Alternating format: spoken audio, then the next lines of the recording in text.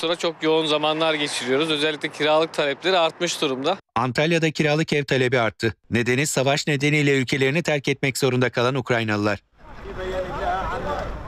Turizm kenti Antalya'da 29 bin Rus, 9 bin civarında da Ukraynalı yerleşik olarak yaşıyor. Her yıl milyonlarca Rus ve Ukraynalı tatil içinde yine Antalya'yı tercih ediyor.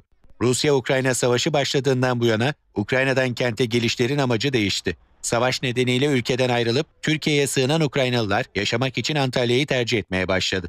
Bu da emlak piyasasında hareketliliğe yol açtı. Savaş sonrası bu talep 3 katına 4 katına çıktı diyebiliriz.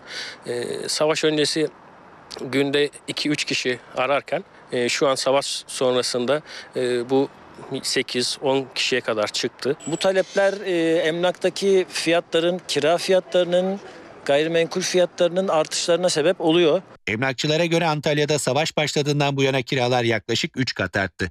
3 bin liraya verdiğimiz kiralık 1 artı 1, 2 artı 1 daireler şu an 8 bin lira, 9 bin lira civarına kadar çıktı. 7 bin liraya verdiğimiz daire şu an e, 9-10 bin liraya ve 6 veya 1 yıllık peşin olmak kaydıyla veriyoruz. Bu da mülk sahiplerinin iştahını kabartıyor açıkçası.